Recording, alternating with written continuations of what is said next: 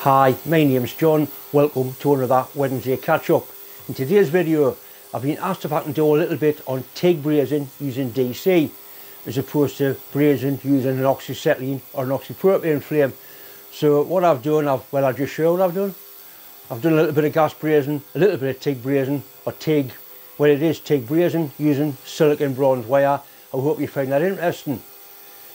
Last weekend, I think it was last weekend, the sonic cleaner that Thomas sent us, I cleaned that carburettor and I wasn't that impressed to tell you the truth. So Thomas has sent us some more cleaning fluid which is specifically to clean a carburettor. That's cooking away in here now so we'll give it 20 minutes in there, have a look and see what sort of effect that's had. I did put some of Deb's jewellery in and it come up absolutely amazing. It didn't take the plating off so it must be the real deal. Right, it's fizzling and bubbling in there quite violently in the vapour that comes off it actually catches your throat it tells you to do it in a sort of well ventilated space don't breathe the vapours in it's flammable it kills fish it's got all the the things going for it so I'll give it 20 minutes in here then we'll have a look these are four different brazing rods with different properties the first one is silicon bronze that is copper and tin the second one is also silicon bronze, the same rod, just thinner. So they're rods you can use for TIG welding.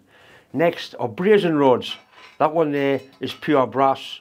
Brass is copper, tin and zinc. You can't use that for TIG brazing. That is also a brazing rod, but it's filled with flux. It's got a flux core in it. The ordinary brazing rod, you need to dip into flux. Using the silicon bronze with TIG, you don't use flux. I think the first thing I'll do is I'll demonstrate a little bit of ordinary brazing using a flux core brazing rod. Then we'll go on to the TIG set, which is what I've been asked to do, and do some DC TIG brazing. This is 2 mil mild steel plate, and I'm going to do a, a joint down there, and I'm going to use this rod here. It's actually a Technic flux core rod. It's got flux inside it. The heating source is going to be oxypropane.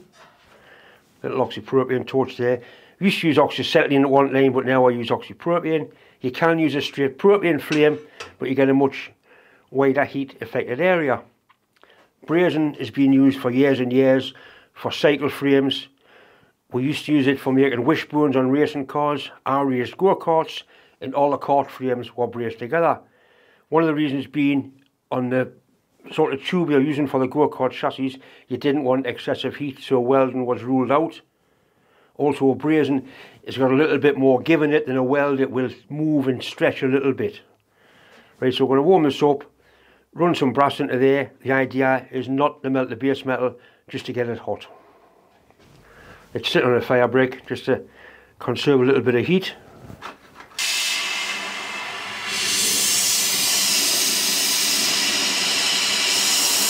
Right.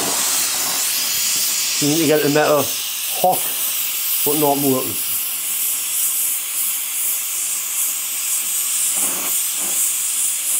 So the brazing rod is flowing in quite nicely, it's following the heat.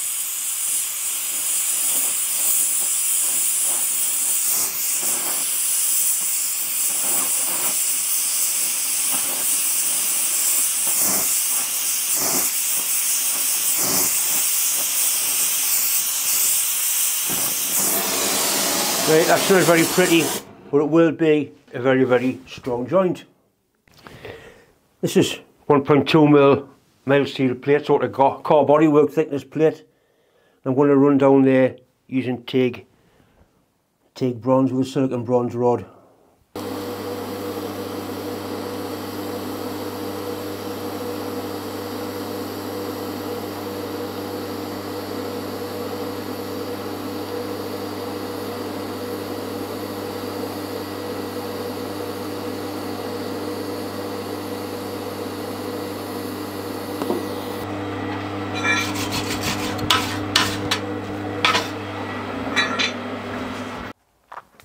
Right, I've had 20 minutes in there now. See what we've got. Water's at 60 degrees, that's what they recommended. Straight away, that's a lot better than the last time.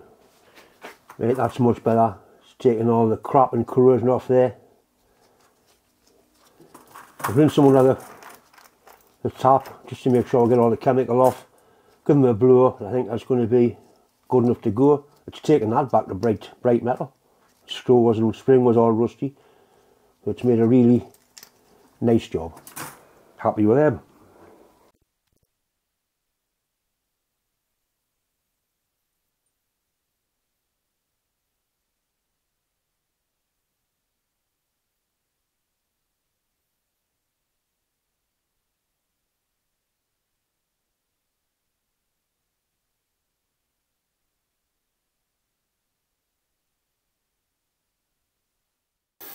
Once again, it's just time to see it. thanks for watching. As usual, thanks for subscribing. If you haven't, please do. It is important.